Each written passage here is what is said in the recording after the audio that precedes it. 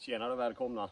Eh, jag har fått mycket förfrågningar på Atec A12 ljuddämparen just gällande funktion, hur mycket den dämpar, om den är värd att skaffa, hur den monteras med mera.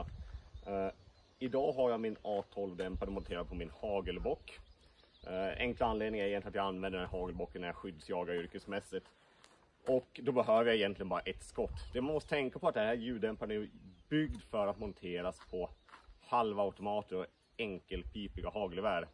Så monterar man det på en box som i det här fallet, då har jag pluggat den nedre pipan för att inte kunna stoppa in en patron av misstag och skjuta under pipan, för då försvinner dämparen. Då blir det rent hus så att säga framför mynningen. Eh, dämparen monteras så att du sätter en chok i vanliga chokläge i pipan. Sen gängar du dämparen på den choken och sen har du en låsmutter du egentligen nyper den så den hamnar i rätt läge så att den inte är sned eller luta och så vidare. Eh, anledningen till att jag kommer köra bocken idag det är därför att det är enklare för mig att förevisa olika laddningar. Det går snabbare att stoppa i olika patroner. Och sen kan jag även förevisa odämpat med min andra bock som har samma piplängd i princip och allting är the same. Så att det inte blir någon skillnad. Det är lite mäckigare än en halvautomat. Eh, det jag kommer skjuta idag är primärt Steelmax, känner alla till.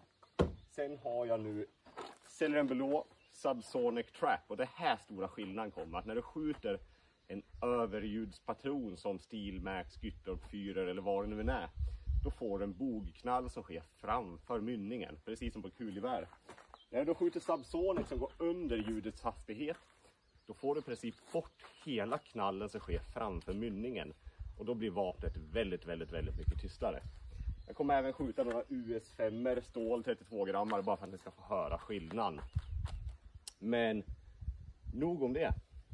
Nu skjuter vi. Nu innan vi skjuter ska jag bara nämna att nu står jag i en dalgång. Jag har ett berg bakom kameran och jag har ett berg på andra sidan. Det här kommer göra att ljudet inte blir helt rättvist presenterat i kameran för att jag kommer få en väldig resonans som man säger i dalgången. Det jag kommer göra då är att jag kommer skjuta ett skott också även lite mer uppåt i luften för att inte få den här eh, man ska inte kalla det bogknall, men eh, knallen som blir framför mynningen kommer komma tillbaks annars på ett eh, dåligt sätt som inte kommer göra ljudet rättvisa. Eh, men vi börjar. Jag skjuter först en Steelmax tänker jag, en standard. Och sen skjuter jag en Subsonic även i den här Beretta 693 som inte är dämpad. Och det är för att jag ska höra skillnad mellan en Subsonic och en vanlig laddning utan ljuddämpare. Nu får vi se om jag träffar något också.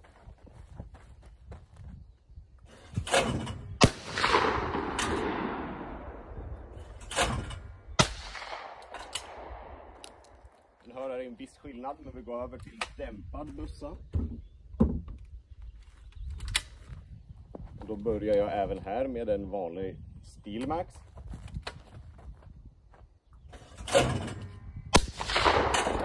Jag har även en boom, lite pinsamt, men det är sånt som händer. Då kör vi en Subsonic.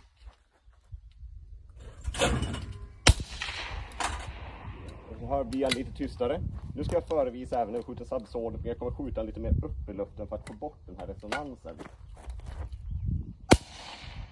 Då märker ni att det blir ännu tystare. Jag är fortfarande en dalgång så det blir ju ändå en viss form av resonans mellan bergen helt enkelt. Vi gör så för nyfikenhetens skull att vi skjuter en US5 32 grammare. Ska ni få höra skillnad med den så gör vi detsamma med ljuddämpare.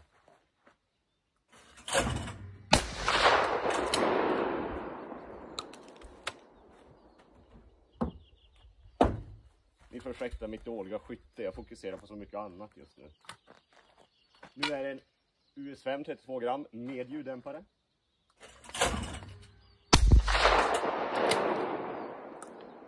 Och så återigen kör vi en Subsonic.